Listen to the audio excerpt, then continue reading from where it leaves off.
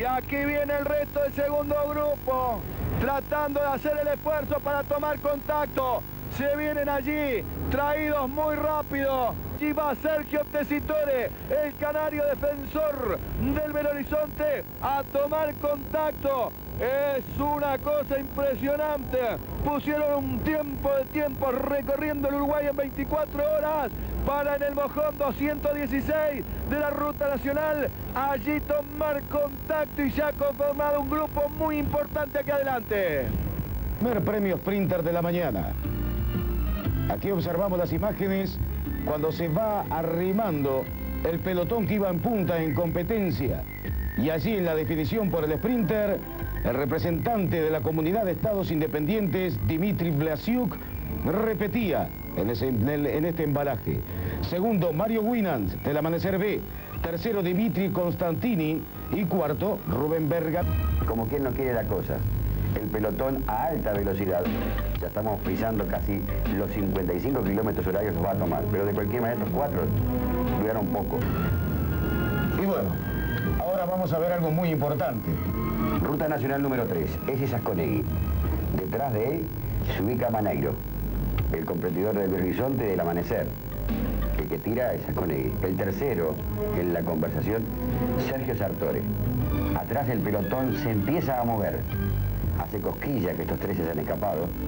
Iba una hora de carrera. Y las ventajas comienzan. Y segundo embalaje, previo a la cima. Una hora de competencia, que la gana José Maneiro, segundo José Asconegui, tercero Sergio Sartori. Y aquí, este hombre a caballo que parece que le avisa al pelotón, miren que se le están yendo los hombres adelante. La cuarta posición es para Ricardo Guedes. que van rumbo a Paysandú. José Asconegui, el 37, el representante del amanecer. El que tira ahora es Oscar Sartore, el hombre de Nacional, a sus ruedas Conegui y cierra el grupo Joselín Maneiro, el representante del Velo Horizonte. Ahí están las tres unidades que se van rumbo a la ciudad de, de, Paysandú. Y qué tres nenes, ¿no? Porque allí hombres experientes, el caso de Asconegui, que ahora está trepando tomado de arriba, con sus manos en las manoplas, atrás Oscar Sartore, que se para en los pedales, aparece también la Maneiro, que viaja cómodo a la rueda de estos dos. Quiere que se concrete esta fuga. Esta es la opinión de Carlos Astiz. Allí trabaja el Manota y Asconegui. Se resguarda José Maneiro. Usted lo vive a través de Montecarlo Televisión, Canal 4, la cara de esfuerzo nacional, buscando mancomunar esfuerzos. Y un poquito más atrás, ahora, luego...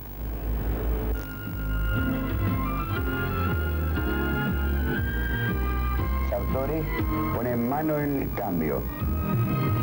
tiene un poco su andar. Aconegui es cabeza toman Rister de la cámara para ubicar mejor al ciclista sobre el... Estamos trabajando con ella, atención, top, Pío Top de Conaprole, la bebida oficial de la Vuelta. Vamos a ir a una referencia en el camino y en todos los caminos la gente viaja. Equipo sostengan esta escapada porque saben que, bueno, yo diría que es un poco tempranera y que además uno de los equipos no está colaborando. Y los corredores que también disfrutan del espectáculo que usted ha vivido a través de Montecarlo Televisión Canal 4. Y vamos a aprovechar para buscar al Maya.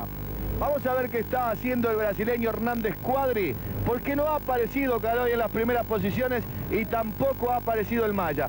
Todo el lote va viajando allí y el Maya que no aparece, vamos a ver si está en las últimas posiciones. Aún no ha pasado Hernández Cuadri. Y como decíamos, en Jung se va a definir el segundo premio Sprinter de la mañana y vemos que ataca José Maneiro del Belo Horizonte para lograr la primera posición. Primero, José Maneiro del Belo Horizonte. Segundo, Sergio Sartor del Club Nacional de Fútbol. Tercero, José Asconegui de la Amanecera.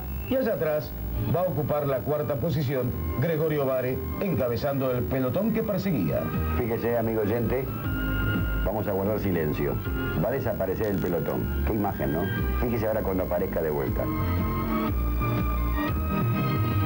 los tragó la carretera. El público cruza. ¿Dónde están los ciclistas? Desaparecen los coches, pero miren. Qué postal. Borran la caravana los ciclistas. Y usted lo vio por Canal 4. Qué gran canal.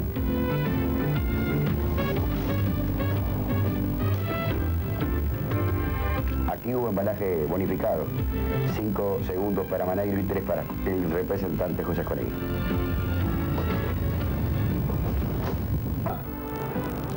Aquí vamos a ver pasar el pelotón. Este premio Cima lo gana José Maneiro del Belo Horizonte. Segundo José Conegui del Amanecer. Tercero Sergio Sartore del Club Nacional de Fútbol. Cuarto Luis Martínez que encabeza el... Los tres punteros que se mantienen. Informa. Yerba Canaria, mate a mate. Pura amistad. En esta referencia en el camino y en todos los caminos la gente viaja por Núñez. Manota Sartore de Nacional. El 109 para los cabalistas. Manteniendo posiciones y atención a más de 6 minutos 25 segundos del grupo principal. Me huele a minuteada. Ha comenzado a trabajar Joselín Maneiro, que participa más de la fuga. Y ahora este terceto realmente vuela el esfuerzo. Viene muy fuerte. El Manota Sartor, el Pepe Asconegui y Joselín Maneiro. en la clasificación general está 208 y tanto Sartore como Asconegui están a 40 segundos y uno de ellos mañana puede... Nos estamos acercando a Paysandú. Tres hombres que son los héroes de la mañana porque han trabajado en forma realmente increíble, sobre todo lo hecho por Asconegui, José. Enzo Soler está atacándolo, Sergio Sartore, a su rueda está José Asconegui, un tricolor, uno del amanecer, está cerrando, Joselín Maneiro, el muchacho del... Joselín Maneiro, que no atacó buscando de acortar las diferencias. Esta etapa en Paysandú de Gran Premio acá. Gran premio para la gran empresa de hacer grande un país. Con José Asconegui de punta recorremos la heroica Paysandú que con un marco espléndido de público recibe a la vuelta. Fray Bento lo podrá superar mañana. Hoy Paysandú está todo en la calle para ver este evento impresionante que es el ciclismo. Este evento impresionante que es la vuelta. Allí están las banderas de Peñarol por un lado. Tricolores que aplauden a rabiar porque aquí está el Manota, se va a definir la etapa. Lo arrancó Sartore, va a ganar Maneiro, va a ganar Maneiro, va a ganar Maneiro. El velo, el velo, el velo, el velo, el velo, el Maneiro, Maneiro, Maneiro, Maneiro, Maneiro, Maneiro, Maneiro, Maneiro, segundo Asconegui, tercero Sartore, quedó Maya, José. Eh, la verdad que sí, una etapa muy, muy dura por los, los muchos kilómetros que hicimos solo, pero gracias a Dios eh, pudimos lograr la malla y bueno, seguiremos trabajando. Repartieron el... Hubo actitudes muy lindas a pesar de las rivalidades, porque en algún momento tú le diste la caramañola a Maneiro y en algún momento también de Negri, acompañante de Belo Horizonte, los atendió. Acá lo que había que hacer es correr cada cual para sí, entonces así sería mejor el ciclismo y serían mejor las cosas. Timón, ¿qué nos decís tú de esta etapa como las de antes, con una minuteada importante? Yo creo que es una etapa fue muy linda, yo creo que el, amanecer tiene grandes valores y hoy y tiene varias cartas pa- para poder ganar la, la Vuelta del Uruguay. Hoy todo el mundo cuidó, como dijo Alejo, cuidó a Federico, pero tenía una carta muy importante que es Asconegui. Yo creo mucho en Asconegui, es un ciclista de grandes condiciones y que puede muy bien llegar a Montevideo como malla líder, desconociendo y sabiendo de otros ciclistas como, como Federico que está muy bien cuidado.